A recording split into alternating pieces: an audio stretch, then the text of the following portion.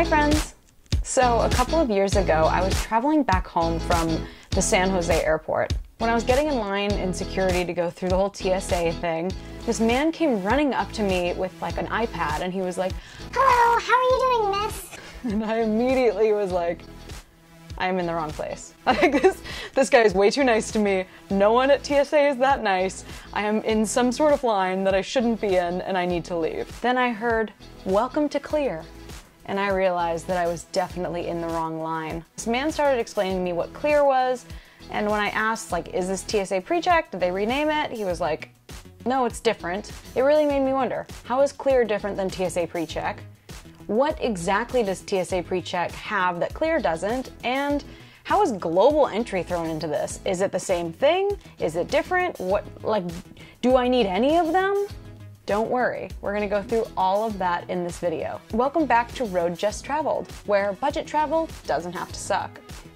I'm Jessie and I post new videos every Sunday, so feel free to subscribe or hit the bell icon so you don't miss anything. Before I go into the merits and setbacks of these services, I'm gonna give you a general overview of what they are. In short, you're basically trading some information of yours, like your fingerprints, your passport information, and a picture of you for special privileges to bypass lines, providing you a a more convenient travel experience that takes less time. I'm stressing about the personal information thing because if you want an easier travel experience, it doesn't come without a cost. As we launch into this world of GDPR and data protection, that you should understand that you are trading your fingerprints and a picture of you and your passport information for these privileges. As long as you're okay with that, it's fine. I'm personally okay with it, but I wanna make it very clear so that you don't go into something without really understanding what you're doing. What's interesting about these memberships is they're not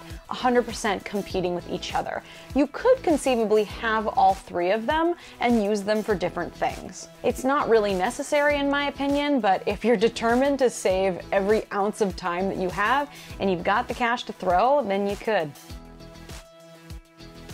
First, we'll go over TSA PreCheck, which I think is the most well-known one for Americans at least. TSA PreCheck is a US government program that is designed to make your experience going through TSA security lines much simpler, easier, and quicker. It is a separate security line than the normal security checks. And I say line, but most of the time that I've gone, there hasn't even been a line. you just walk right up to the belts and it's amazing. Their website says that 93% of the time, pre-check passengers have waited less than five minutes to get through security. Amazing. My favorite part about TSA PreCheck is that you don't have to take your shoes off and you don't have to take all your stuff out of your bag.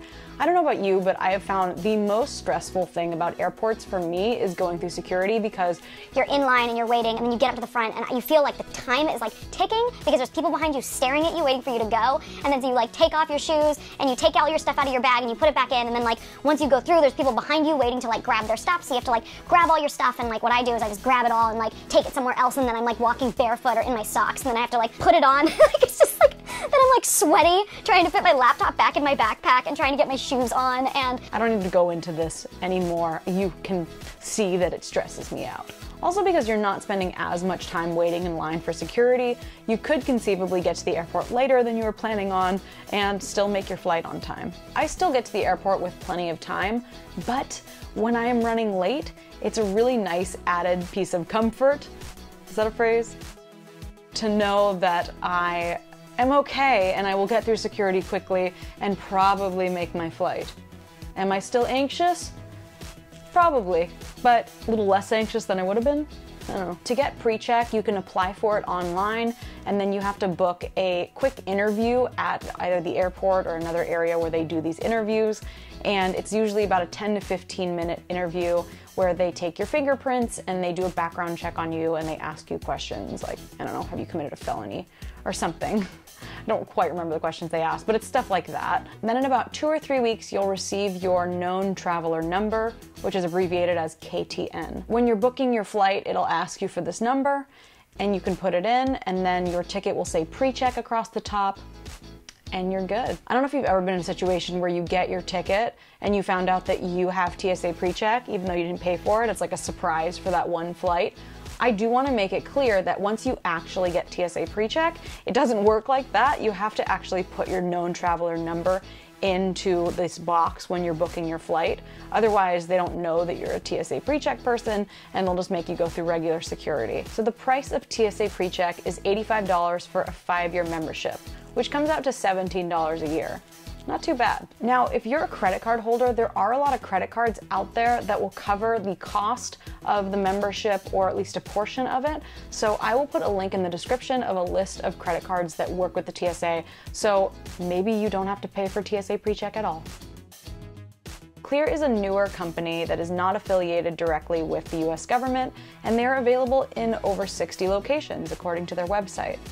Now, not all of those are airports, which I'll get to in a little bit. Clear shows up as a separate line from TSA and TSA PreCheck, but they don't have their own security. When you sign up with Clear, they scan your eyes as well as take your fingerprints so you don't have to pull out your passport or your ID when going through security. When I was going through a demo of this, after they scanned my eyes, which is like, and you feel like a spy, they took me to the front of the security line, the TSA line that everyone's in. I had to go through that whole thing, except for I was just sent to the front of it, which is really weird when everyone's kind of staring at you and you're just like, hi, I'm, I'm a douchebag. If you have TSA PreCheck, then they'll just take you to the front of the PreCheck line. Now, unlike PreCheck and Global Entry, which we'll talk about in a little bit, Clear does not have its own security line. The reason for this is because I think the US government would not let that fly because they want to have their hands on who is going through security, which is totally fair. The one thing that's kind of cool is that you don't have to even take your ID out because they scan your fingers and your eyes. So if you are traveling and you forget your ID and your airport has a clear kiosk in it, then you know that you can get home safe and deal with it all there. That's a very extreme situation though. Also, Clear's website boasts that they can get you through the security line within 5 or 10 minutes. I know I just said that TSA PreCheck says about the same thing.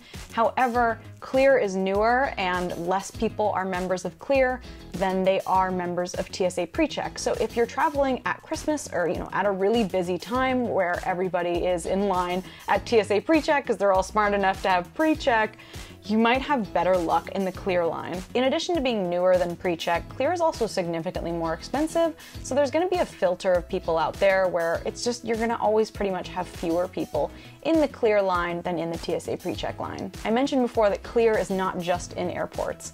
Clear is also building out their services in highly trafficked areas like sports arenas and concert venues. For example, Madison Square Garden, Yankee Stadium, and the Staples Center all have Clear. This is great if you go to a lot of concerts and big venues, or if you have like season passes to sports games. You could tell I'm not really into sports. Clear costs $179 a year which is a significant hike in the prices of TSA PreCheck, which come out to $17 a year. Clear does have some partnerships with Delta and United Airlines, so if you are a member of their loyalty programs, you can potentially get free or heavily discounted memberships with Clear. I will also say that signing up for Clear is significantly easier than signing up for TSA PreCheck. You can basically walk up to a Clear kiosk, they just scan your stuff and you punch in your information, and within five minutes, you're signed up. Global entry and TSA PreCheck are kind of a whole other process that takes at least a few weeks to go through. When people hear global entry next to TSA PreCheck, they tend to think that global entry is just TSA PreCheck's fast security, but all over the world. I wish it was. I would join that in three seconds. But Sadly, that doesn't exist. Global entry basically simplifies the immigration and customs process when you're returning back to the US. If you travel internationally a lot and you come home and all you want to do is just crawl into bed and you get to the customs department and you just see this line that just snakes all over and you feel like you're going to be standing in line for three hours, because you might actually be then you might be interested in global entry. Similar to TSA PreCheck, global entry has its own wait line that more often than not you can just walk up and there's very little if any wait. Generally this is a service just in the US, but there are actually 16 airports that are not in the US that have global entry. A few of these include Dublin, Winnipeg, Abu Dhabi, Guam, and Aruba. Unless you're going to these places, if you do a lot of international travel, my guess is you'll pretty much only be using it when you return to the States. The cool thing about Global Entry is that it actually includes TSA PreCheck, and it's only $15 more. So if you want to just fork up that extra $15, which comes out to $3 per year, because remember, it's a five year membership, then that's totally worth having global entry for your return. If your memory and math isn't your strong suit, it's okay, it's not mine either. It's $100.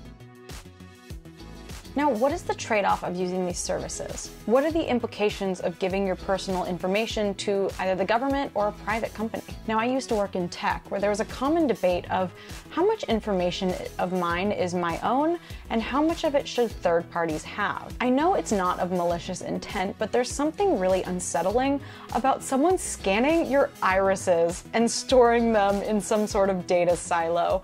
I know I did it in the moment when I was walking through Clear and they offered me a free trial, but I wish that I had thought a little bit more about it, and I'm saying this because I don't think people really think about it because they're promised with not having to wait through TSA lines, and you think, Sure, take everything, take my firstborn. And I'm not trying to rip into Clear because when you sign up for Global Entry or TSA PreCheck, you have to give your fingerprints. Something about a private company storing my eyes in their system. It makes me a little uncomfortable, and I'm sure that one day we will look back where everything is scanning your eyes because we're all like so futuristic, and to like get into work, you it scans your eyes really quick or something, and I'll look back and be like, ha, silly that you were so worried about clear.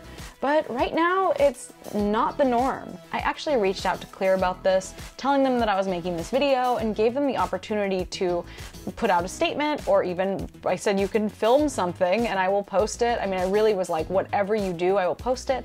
And I just kind of got like a generic email back that was like, check out our privacy policy, which is like a little disappointing, honestly, but like, I don't know, I guess I'm not that important. So, but I tried. I tried to give them a voice to stand up for themselves about scanning our irises and um, let that be known that I tried. And the bottom line, whether it's TSA PreCheck, Clear, or Global Entry, you are exchanging your private information as well as a little bit of money for a simpler, faster, easier check-in. Is it worth it?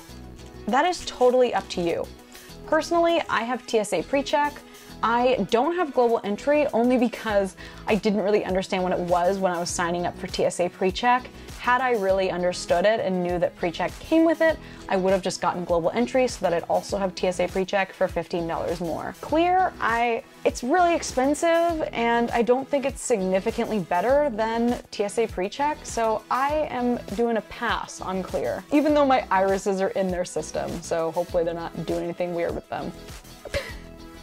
I don't know what weird stuff you'd do with irises. I hope this was helpful to you in determining which of these is best for you, if any. Feel free to leave some feedback in the comments. I'd love to hear if you are a member of any of these or if you are planning to become a member of any of these and which ones. I will see you guys next week with a video that's all about how to get free accommodation when you travel. What? So if you want somewhere to stay for free, be sure to subscribe and hit the bell icon so you don't miss it. Happy travels!